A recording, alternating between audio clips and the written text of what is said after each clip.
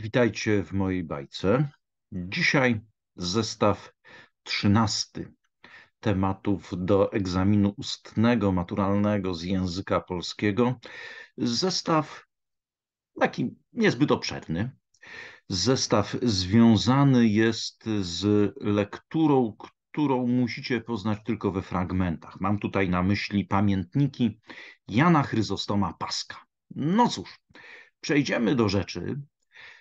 Przed nami wiadomości, które trzeba mieć w zakresie takim minimalnym, żeby pójść dalej. Jan Chryzostom Pasek żył w latach 1636-1701, czyli jego życie generalnie przypadało na wiek XVII.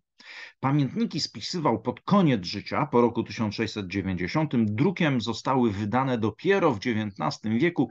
Macie tutaj po prawej stronie kartę tytułową właśnie tego pierwszego wydania poznańskiego z roku 1830 VI. I warto wiedzieć, że pamiętnik to prozatorska relacja o zdarzeniach, których autor był uczestnikiem bądź naocznym świadkiem, spisywana już po pewnym czasie. Tym różni się od dziennika, który prowadzony jest na bieżąco. Epoka to barok. O innych kontekstach powiemy sobie za chwil kilka. Tak jak powiedziałem wcześniej, zestaw trzynasty to zaledwie dwa tematy. Każdy z nich składa się z trzech elementów. Wielokrotnie o tym mówiłem, powtarzałem, w związku z tym teraz szybciutkie przypomnienie. Zawsze w temacie znajdziecie problem badawczy, czyli zagadnienie, które zostało przed Wami postawione do e, rozważenia, polecenie, wskazanie lektury, na podstawie której trzeba to zagadnienie omówić, polecenie odsyłające do wybranego kontekstu. A tak rzecz wygląda na przykładzie pierwszego tematu z zestawu trzynastego. Sarmacki portret polskiego szlachcica omów zagadnienie na podstawie znanych ci fragmentów pamiętnika Jana Chryzostoma Paska. W swojej odpowiedzi uwzględni również wybrany kontekst. No i proszę, co tutaj mamy? Na niebiesko problem badawczy, sarmacki portret polskiego szlachcica. Na czerwono mamy polecenie, omów zagadnienie i wskazanie lektury na podstawie fragmentów pamiętników Jana Chryzostoma Paska i na zielono polecenie odsyłające do wybranego kontekstu. Jak z tego korzystać w czasie przygotowywania się już do odpowiedzi? No, najprościej. Najpierw przeczytajmy sobie polecenie, podkreślmy, zaznaczmy, zapiszmy. Ja jestem zwolennikiem tego, żeby sobie zawsze na osobnej kartce zapisywać jeszcze raz to polecenie, problem badawczy, na którym mamy się skupić. W przypadku tematu pierwszego, jak doskonale widzicie, to jest sarmacki portret polskiego szlachcica. Co mamy zrobić z tym problemem? Mamy go omówić. Mamy go omówić na podstawie, i tutaj podkreślam, znanych ci fragmentów pamiętników Jana Chrysostoma Paska. Czyli powinniście odwołać się przynajmniej do jednego fragmentu, jest to liczba mnoga znanych ci fragmentów i y, wiemy, że chodzi o konkretną, konkretną lekturę obowiązkową. W swojej odpowiedzi musicie uwzględnić wybrany kontekst. Jaki to będzie kontekst? Zasugeruję taki, żeby y, zaspokoił ewentualne wymagania każdej komisji. Budowanie pracy to oczywiście przypomnienie sobie tych fragmentów, tych elementów lektury, które będą podstawą waszej wypowiedzi, te treści, y, które pomogą opracować problem badawczy. Przypominam jeszcze raz, chodzi o sarmacki portret polskiego szlachcica. Y, sugeruję też, żeby przy omawianiu pracy formułować tezę. Tak będzie Wam znacznie łatwiej budować zasadniczą część y, wypowiedzi. Y, uzasadnianie Waszego stanowiska po prostu lepiej udaje się, jeżeli mamy tezę, którą będziemy udowadniać. Teza Pamiętajcie, niech to nie będzie zbyt skomplikowane zdanie. Zawsze mówię, nie bądźcie przesadnie wyrafinowani intelektualnie. Teza ma być prosta, a wasza prezentacja ma być dobra. Korzystajcie z brudnopisu. Notujcie, wypisujcie, zapisujcie, nie wahajcie się go użyć. Waszym prawem jest mieć kartkę do notowania na brudno. Samo omówienie problemu badawczego powinno wiązać się z przywołaniem odpowiedniego kontekstu, zespołu odniesień niezbędnych do zrozumienia utworu i osadzenia omawianego zagadnienia w szerszej perspektywie. To moim zdaniem najtrafniejsza definicja kontekstu. Możecie sięgać do różnych kontekstów, yy, innych utworów literackich, historii literatury, teorii literatury, charakteru epoki, biografii autora, ewentualnie właśnie utworów muzycznych, teatralnych, dzieł plastycznych i tak dalej, i tak dalej. Tych kontekstów jest mnóstwo. Jakie będą najtrafniejsze w przypadku tematu sarmacki portret polskiego szlachcica? Za chwileczkę Wam pokażę. Pamiętajcie, żeby Wasze podsumowania, żeby Wasze rozważania podsumować. Podsumowanie jest ważne. To są wnioski, które potwierdzą Waszą tezę. Sami więc widzicie, im teza prostsza, bardziej jednoznaczna, tym łatwiej ją będzie podsumować.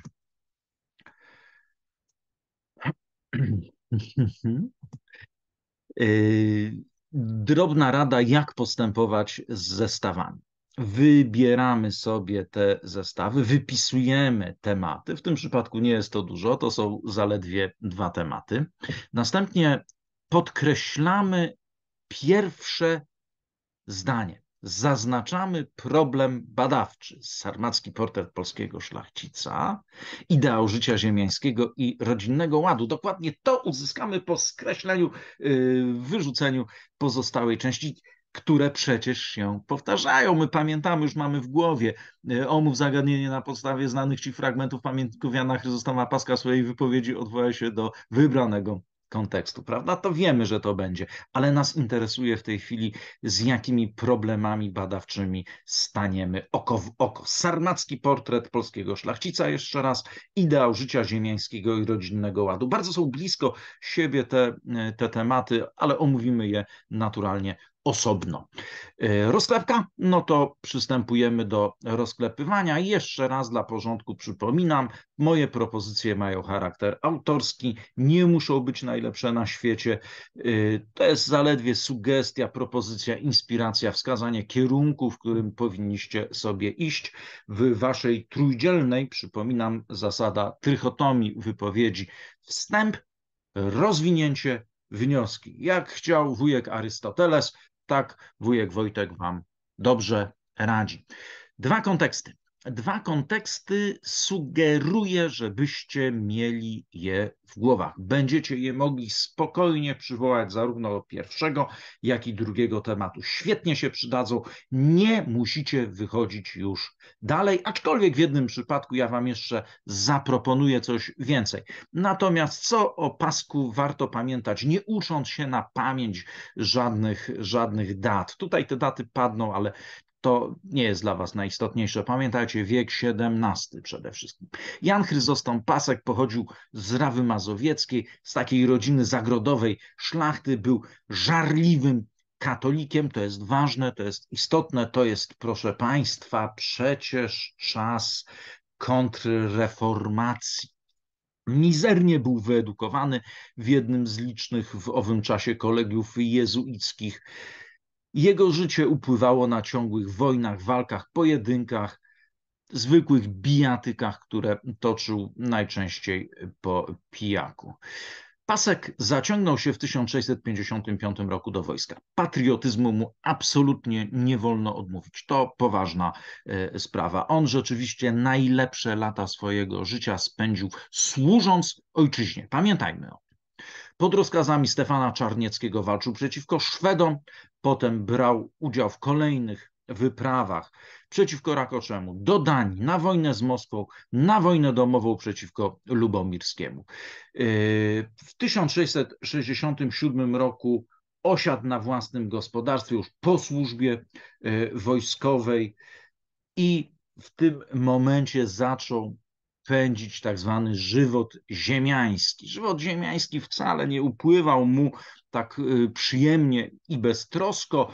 Y, to były różnego rodzaju wyprawy na sejmy, elekcje, y, zajazdy, pospolite ruszenie, procesy, awantury z sąsiadami, bijatyki. Tutaj mm, można znaleźć informację, że w latach 1667-1700 Pasek aż pięciokrotny był pięciokrotnie był skazany na banicję, czyli na wygnanie bałagan w Rzeczypospolitej wtedy już był taki, że nic mu nie zrobiono tak naprawdę. Raz nawet był skazany na infamię, czyli utratę czci i praw. Oczywiście to tylko było na papierze, nic go nie spotkało strasznego. Około roku 1690, czyli już pod koniec życia, dawno, dawno po zakończeniu służby wojskowej, dawno już po osiedleniu się we własnym gospodarstwie, zaczął spisywać pamiętniki. Y, pamiętniki, które nie są dobrym źródłem historycznym, ponieważ tam się pojawiają błędy. Autor nie pamięta zbyt dokładnie faktów, myli daty, przesuwa w czasie wydarzenia, ale to nie jest najważniejsze. Proszę pamiętać, że pamiętniki to jest piękny przykład takiej gawędy. Yy, Paska, który mimo tego, że był kiepsko wykształcony, miał ogromny talent yy, krasomówczy, powiedziałbym, literacki. Yy, dziś powiedzielibyśmy, że, że pisze strasznym językiem. To się ciężko czyta, bo to jest tak nasycone makaronizmami, wstawkami z języka łacińskiego, ale widać, że ten talent aż buzował y, w autorze. Pamiętniki składały się z dwóch części. Część pierwsza to jest właśnie ta część wojenna 1656-66, zawiera liczne opisy wojennych przygód wspomnianych już przeze mnie, więc nie będę ich mm, powtarzał. I druga część po roku 1667, w zasadzie od 1667 do 1680 z 1688 zawiera opis życia gospodarskiego Paska. Drugi kontekst absolutnie obowiązkowy, absolutnie ważny, to jest sarmatyzm. Proszę Proszę sobie to dokładnie zapamiętać, co e, w tym momencie powiem. Sarmatyzmem nazywamy formację kulturową, niektórzy mówią też ideologię, formację kulturową bazującą na przekonaniu o szczególnym pochodzeniu szlachty polskiej. W XVII wieku modna stała się teoria trochę wcześniejszych, XVI-wiecznych historyków, e, z której wynikało, że polska szlachta wywodzi się od sarmatów, od starożytnego plemienia, które zamieszkiwało przed wiekami ziemię polskie. W rzeczywistości tak, byli tacy sarmaci, zasiedlali oni w połowie pierwszego tysiąclecia przed naszą erą ziemię nad Dolną Wołgą. Tym sarmatom przypisywano wiele wspaniałych cech charakteru. Przede wszystkim wrodzoną dumę, waleczność, odwagę, męstwo, wierność. Polska szlachta podkreślała swoje sarmackie pochodzenie. Nie chłopi mieli pochodzić od sarmatów, tylko szlachta. Zaczęto poszukiwać własnych korzeni. Wywodzono genezę całych rodów od sarmatów. Stworzono wielki sarmacki mit szlachecki. Twórcy tego mitu skupiali się na poszanowaniu polskości, tradycji, religii katolickiej, unikali obcych wzorów naleciałości. Dużo było pozytywnego e, w tej pierwszej fazie e, sarmatyzmu, no, podkreślanie e, patriotyzmu, poszanowania tego, co rodzime, tego, co nasze, e, ale to również była gościnność, to e, również e, było pielęgnowanie takich cnót jak odwaga, męstwo czy wierność ideału. Niestety, z biegiem czasu ten wzorzec zaczął ewoluować. W XVII i w XVIII wieku szlachta polska ten wzorzec sarmacki przeobraziła zdegenerowała, utożsamiać zaczęto sarmatyzm z megalomanią, czyli przekonaniem o swojej wyjątkowej wartości, wyższości nad innymi stanami, ksenofobią, lękiem przed wszystkim, co obce, nacjonalizmem, poczuciem wyższości nacji polskiej nad innymi narodami, nietolerancją religijną. Y, Polak może być wyłącznie katolikiem awanturnictwem, sobie państwem, skłonnością do pijatyk. Sarmatyzm to również pewna niechęć do nauki. Za całkowicie wystarczające sarmaci uważali wykształcenie wyniesione z kolegiów jezuickich. Tak co dobre, pozytywne ewoluowało, degradowało się. Jak w tym wszystkim wyglądają e, pamiętniki Paska i wyłaniający się z tych pamiętników sarmacki portret polskiego szlachcica. No bo to jest właśnie pierwszy temat. Y, nie ukrywam, że y, tutaj kontekst y, historyczny i biograficzny w zasadzie już omówiliśmy, bo i sarmatyzm, i biografię Jana Paska poznaliście. Warto zwrócić uwagę, że proponuję tezę absolutnie prostą. Pasek, autor i bohater pamiętników jest doskonale sportretowanym sarmackim szlachcicem. Tutaj w tym temacie jest y, taka troszkę, y, zauważcie, tautologia, no bo y, sarmacki portret polskiego szlachcica, sarmatyzm jest typowo polski, no nie ma innych sarmatów mm, poza tym plemieniem żyjącym wieki temu. Więc szlachcic Sarmata to po prostu Polak. Proponuję skoro mamy odwołać się do fragmentów, dwa takie fragmenty. W pierwszej części wypowiedzi sugeruję, żebyście przywołali fragment dotyczący roku pańskiego 1658.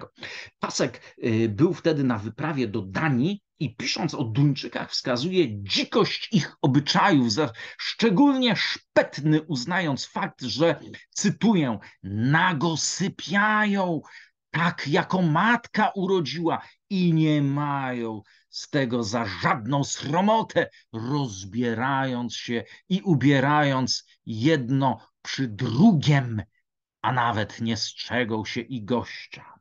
No załamałem się.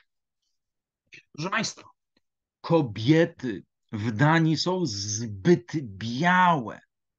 Strasznie hałasują drewnianymi butami, których używają na co dzień tupot robią taki, jak pisze Pasek, że myśli nawet nie można zebrać. Jedzenie z kolei mają tak paskudne, że się Polakom tego jeść nie godzi, bo by nam psi nieprzyjaciółmi byli, gdyż to ich potrawa, czyli gdzie, gdzieś na poziomie y, y, gustu i smaku psów Duńczycy jadają. No, straszliwie skopał Duńczyków y, pasek.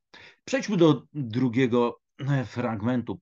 Y, to jest fragment dotyczący roku pańskiego 1667. Tak są zatytułowane kolejne y, fragmenty pamiętników kolejnymi latami roku pańskiego 1658, roku pańskiego 1659, roku pańskiego 1667. Po zakończeniu służby wojskowej i po ślubie z podstarzałą, bo 46-letnią dzieciatą już wdową, mającą jednak pieniądze, co dla Paska miało zdecydowane znaczenie, ponieważ był konkretny, okazało się, że nie mogą mieć dzieci. Wtedy ciemny i zabobonny bohater, czyli Jan Chryzostom Pasek, winą obarcza złych ludzi, którzy rzekomo rzucili na niego i małżonkę urok urok, którego dowodem jest znalezienie w łóżku fragmentów zmurszałej trumienki dziecięcej. Widzicie Państwo te y, zabobony. W drugiej części y, pamiętników y, bohater bezustannie albo pociąga z butelki, czego się nie wstydzi, albo kłóci się z wszystkimi dookoła, albo wreszcie pojedynkuje się. Bierze udział w życiu politycznym kraju, jest czynnym uczestnikiem sejmów, podczas których dochodzi do awantur, przepychanek, poważnych bijatyk. No taki to jest portret. Podsumowując, choć Pasek przedstawia się czytelnikowi jako świetny kompan, wzorowy patriota, dobry żołnierz, cieszący się autorytetem zarówno u podwładnych, jak i u przełożonych, to z pamiętników wyłania się obraz typowego zawadiackiego sarmaty.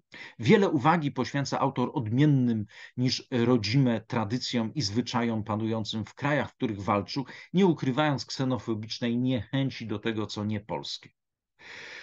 Przeróżne spory i awantury sąsiedzkie wypełniają drugą część pamiętników, ukazując Paskę jako ciemnego, zabobonnego warchoła i nieprawdopodobnego awanturnika. On budzi pewną e, sympatię, ale no, szczególnie wolelibyśmy mieć w nim y, przyjaciela i kompana, bo y, nieprzyjaciół traktował brutalnie i okrutnie. To chyba najbardziej znany portret Sarmaty Stanisława Antoniego Sztuki, Sztuki, przepraszam, nieznanego autora z pierwszej połowy XVIII wieku. Drugi temat. Ideał życia ziemiańskiego i rodzinnego ładu. Oczywiście omów zagadnienie na podstawie znanych ci fragmentów pamiętników Jana Chryzostoma Paska. W swojej odpowiedzi uwzględni również wybrany kontekst. Wstęp. Pasek jest przekonany, że propaguje ideał rodzinnego życia dobrego szlachcica i ziemianin. Proszę Państwa, y, oczywiście, zobaczmy, jak ten ideał wygląda. Możecie tutaj przywołać jako kontekst biografię Jana Chryzostoma Paska. Jest już to omówione. Sarmatyzm można, ale niekoniecznie. Natomiast y, zapowiadałem, że jeszcze trzeci kontekst przywołam. Znakomita rzecz, nieco wcześniejsza od y, paskowych pamiętników, bo y, z początku drugiej połowy XVI wieku. Żywot człowieka poczciwego Mikołaja Reja. Szlachcic ziemianin, jaki wyłania się z tego żywotu człowieka poczciwego to gospodarz. Gospodarz, który doskonale zna swoje posiadłości, orientuje się w zasadach gospodarowania.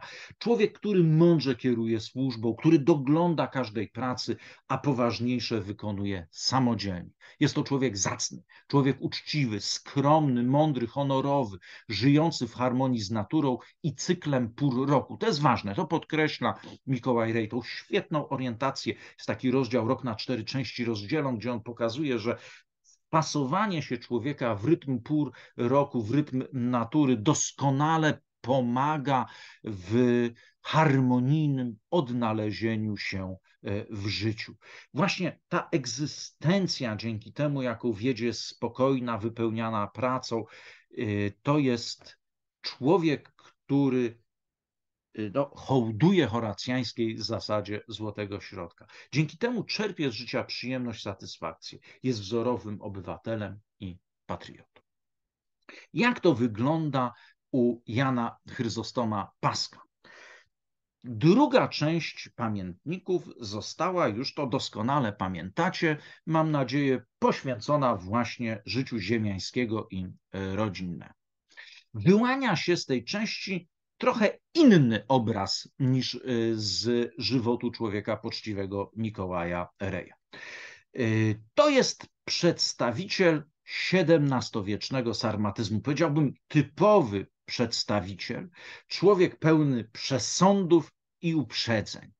Gospodarce i harmonijnemu podporządkowaniu się rytmowi pół roku w zasadzie tam pasek uwagi nie poświęca. Akcent zostaje przesunięty. Yy, wspominałem już o tym pierwszym fragmencie dotyczącym poszukiwań kandydatki na żonę, czyli taki ideał poszukiwania rodzinnego ładu. To jest fragment dotyczący roku pańskiego 1667. Bohatera nie interesuje uroda, raczej zwraca uwagę na majątek 46-letniej y, kandydatki na żony, wdowy już y, obarczonej y, potomstwem. Mówiłem już, to jest ładny fragment, jak po ślubie okazało się, że nie mogą mieć dzieci, bohater winą obarczył złych ludzi, którzy rzucili urok, znalazł w łóżeczku fragmenty spruchniałej trumienki i y, dzięki temu wie, że y, tu y, jakieś obce, złe moce się wplątały. Religijność, Paska jest religijnością żarliwą, ale bardzo rytualną, bardzo powierzchowną i właśnie opartą na tego rodzaju zabobonach. Ciekawy jest również fragment inny. Mamy się odwołać do więcej niż jednego fragmentu, w związku z tym proponuję w tym momencie przejście do roku 1669. Tam jest opisane przyjęcie, na, które, yy, na którym pojawili się kompanii. Yy, Paska biesiada, jak zwykle, okazuje się bardzo poważna, wszyscy piją alkohol i jeden z gości, jeden z biesiadników złośliwie wypowiada się o Mazurach, czyniąc różnego rodzaju aluzje i przytyki, a to mówiąc, że Mazurzy to się ślepi rodzą, a to w innym yy, fragmencie pamiętników wspomina, czy wypomina mu pasek, że się pod jakąś ciemną gwiazdą poruszają. W innym momencie śpiewa e, ten e, biesiadnik, że mają e, słone wąsy i że je w piwie maczają. No jednym słowem straszliwie Mazurom przygaduje. Co ważne, y, Mazurem Pasek nie był. Y, on pochodził z Rawy Mazowieckiej, ale szybko skojarzył, że to sąsiedzi, więc on z braku Mazurów się poczuł wywołany do tablicy, żeby y, wystąpić w obronie dobrego imienia Mazurów. Jak wystąpił w obronie dobrego imienia? Ano, pobił y, tego gościa do nieprzytomności w dość interesujący sposób, bo w tańcu wziął jednego z biesiadników, wziął go na ręce i y, walnął y, właśnie w tego, który mu się nie podobał. Także tak na dobrą sprawę obaj stracili przytomność, a ten złośliwie i negatywnie wypowiadający się o Mazurach jeszcze tyłem głowy walnął o jakąś ławę, głowę sobie rozbił, stracił przytomność. Proszę Państwa, tak wyglądały biesiady u Jana Chryzostoma Paska. Tak się bawi, tak się bawi, tak się bawi Sarmata. Yy, jakie wnioski z tego wszystkiego? Autor pamiętników doskonale oddał charakter XVII-wiecznej Rzeczypospolitej Ziemiańskiej. Powiedziałem Państwu, on był świetnym gawędziarzem. Yy, to rzeczywiście duży, duży talent. Jest to obraz życia ziemiańskiego odmienny od tego przedstawionego w żywocie człowieka poczciwego. Renesansowy twórca, jakim był Mikołaj Rej, preferujący harmonijny, zgodny z tą zasadą złotego środka, zgodny z cyklem y, pór roku, y, rytmem natury, ten obraz u Paska już w zasadzie nie istnieje. Barok kontreformacja, sarmatyzm, to wszystko wywołało zmianę wzorca.